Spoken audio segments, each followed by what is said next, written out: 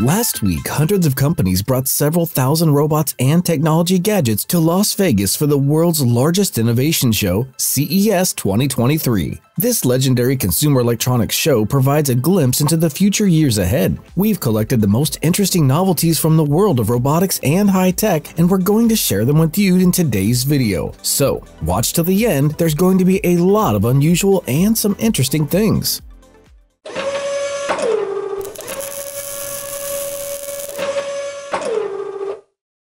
One of the many highlights of the exhibition was the robot AEO from Aeolus Robotics. The humanoid robot is positioned as a deliverer, as well as a robotic companion and caregiver for the elderly. AEO can perform different tasks with different hands. For example, one can be equipped with a UV panel and the other with a grip for opening doors, carrying things, and controlling elevators and appliances. The robot's vision and intelligence allow it to determine whether a patient has fallen and whether he needs medical help. The same abilities make the robot a security guard capable of checking windows and doors, unauthorized people, and forgotten bags in hospitals, schools, and other institutions. The enhanced security features, AEO is equipped with a 360 degree night vision camera that uses real-time streaming with video and two-way voice communication to alert security services if something is happening. It's reported that the robot is already being used in Japan, Hong Kong, and Taipei by elderly care companies as well as commercial property owners. A few years ago, we already saw this robot at CES, but then it was positioned as a home assistant and butler. It wiped the floor with a mop and brought beer from the fridge. It's a shame that that version won't see the day of light.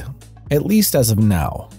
Humanoid robots Halodi Robotics will compete for the role of a security guard with AEO. The company's contracted with ADT Commercial, which unveiled its Evo Guard intelligent security solutions at CES 2023. EvoGuard will use artificial intelligence and augmented reality in combination with a fleet of autonomous humanoid robots and drones for comprehensive security surveillance in a wide variety of commercial applications. The solution aims to launch in 2023 and will offer customers 24-7 patrolling, two-way communication, intruder photography, elevator and door control, some fine motor tasks, as well as quick alerts to special services. The robot can also be controlled in avatar mode using a virtual reality system. This function will create a live telepresence environment in which the human controller can remotely interact with the real environments through the robot.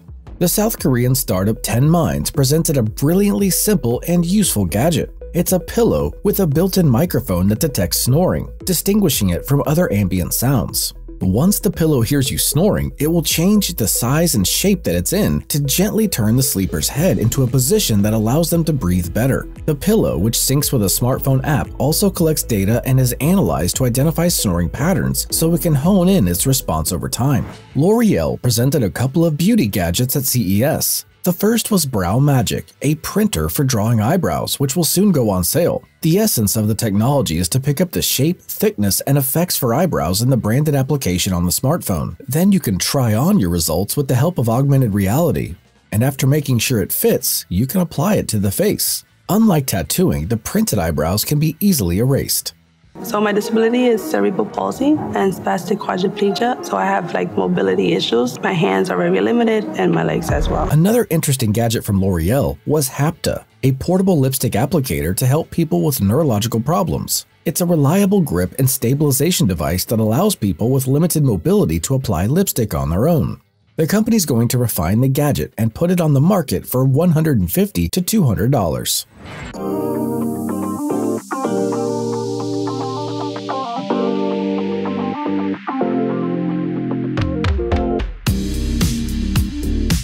At CES 2022, there were more colorful car concepts than ever before. BMW presented a new concept car for the i Vision Dee series, which stands for Digital Emotional Experience. The car is equipped with mixed reality projection displays, which occupies the entire area of the windshield and is the central control. Located on the front panel, touch sensors with ShyTech technology allow the driver to set four different levels of digital content displayed on the display. The first level includes information important to movement to which the content of the communication is added, then augmented reality, projections, and finally access to the completely virtual world. However, car owners will be able to enjoy VR while driving only after BMW introduces their fifth level of autonomy. But that's not all. The car supports voice control and itself responds to the owner and communicates with them in various ways. For example, it can use a personalized greeting, combining graphic elements, lights, and sounds. Thus, the company plans to make the car a full-fledged companion of the owner. Not in vain, the promotional video involves Arnold Schwarzenegger.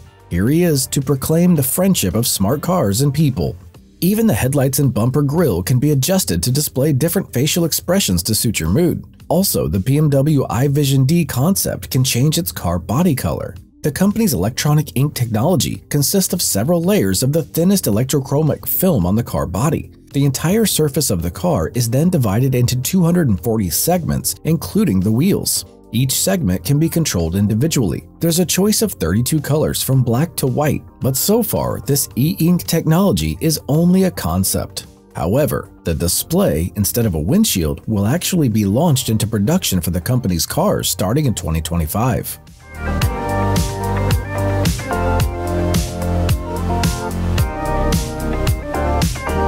Sony, together with Honda, created and presented at CES its first electric car under the Afeela brand. Sales will start in 2026. The lineup will consist of a crossover, sedan, and minivan, but only the sedan was at the show. There's 45 safety sensors installed in the car, including cameras that monitor the road situation, and a display located between the headlights that allows you to display different information and thus communicate with the owner and others. Technical details have not yet been released, and it's known only that the basis of the car will be the Honda e-architecture platform, which is still under development, and Qualcomm chips will be responsible for the hardware power of the car, which will ensure the operation of smart functions and multimedia devices.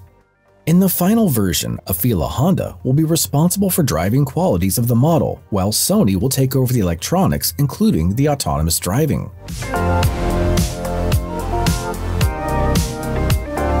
Cars of the future will need chargers of the future, and just the same solution was presented by EVAR, an autonomous electric car charging robot named Parky that takes charging stations to any parking lot. At the same time, when using Parky, drivers can find a spot near the robot's EV jack and plug it in, and then you need to use NFC to call Parky, and it will automatically find your car. The robot provides 15 kilowatts per hour of DC charging, giving it a range of 50 miles. Which concept of cars did you think was the coolest? Let us know in the comments. In all the years we've been following CES, we like Mercedes Avatar the best, but ground transportation is no longer the best way to get around. Everyone's still expecting flying cars to be here within a few years, and there was one at the show. For example, the American startup Aska brought the A5 flying car to CES, and it's not a prototype. It's the finished and tested vehicle, which will be tested by the FAA within the next month. The four-seat electric vehicle can travel up to 250 miles or about 400 kilometers on a single battery charge. Developers say the Aska A5 with the wings rolled up fits in a regular parking spot. The vertical takeoff and landing vehicle is already available for pre-order for just under $800,000. It's expected to be in widespread use by many taxi fleets in major cities by 2026.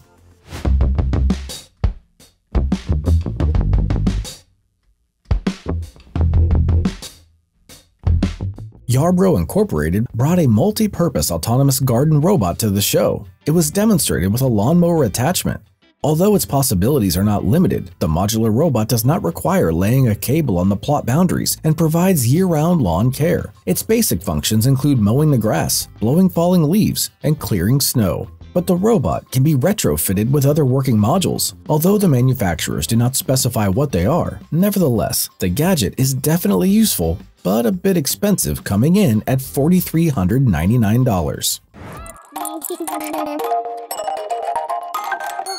Also at CES 2023, there was a lot of robotic pets and pet robots. One of the cutest was Dog-E from WowWee. The robot puppy with facial tracking technology can look into the eyes with love and respond to the head being rubbed. He also has lights on his paws, tail, and chest, built-in sensors, microphones, and speakers that allow him to hear and respond to commands. The developers say the robot has more than 200 sounds and reactions, and you can customize a unique character for Dog-E in the app. You can also train him to remember his name and perform tricks, and all family members can upload their own profile to the robotic dog, and the puppy will be whatever they want it to be.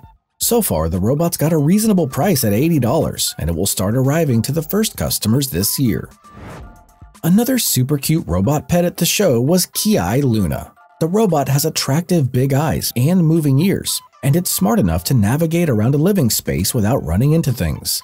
The body design is primitive, but still Luna is an incredibly cute robot. The robot can recognize faces, body movements, objects, human gestures, and voices, as well as emotions. If Luna sees the owner is sad, they'll try their best to cheer him up. The robot has an excellent sense of space, and it doesn't crash into various objects, and also does not fall off the stairs or furniture. Like a real pet, Luna can show emotions. It'll sneeze, scratch, and play with various objects, as well as repeating words after the owner. The company Enabot presented at the exhibition a home robot called Ebo X and hopes to become a company with a robot that has a very useful case. What can it do? Well, it can map your home, recognize old people falling and babies crying, take photos and videos, and serve as a security guard. All of that packed into a price of $229. And that's got a lot of folks paying attention. But at CES, Labrador Systems demonstrated a very useful home robot, which unfortunately is not as cool as it looks, but it's practical and very functional. The Retriever can move around the house autonomously, bringing you various useful items, move heavy objects around the house, and pick up dirty dishes. It's also now received an integration from Amazon Echo, and the robot will reportedly soon be tested in medical facilities. German Bionic introduced their new Apogee exosuit, which is based on the Cray X exoskeleton. The novelty features the lightest weight in the line. The suit can compensate for up to 30 kilograms of load on the lower back while climbing, and also helps reduce overall fatigue through walking assistance. Apogee also collects, analyzes, and monitors basic user data to alert the user, for example, to hazardous strains.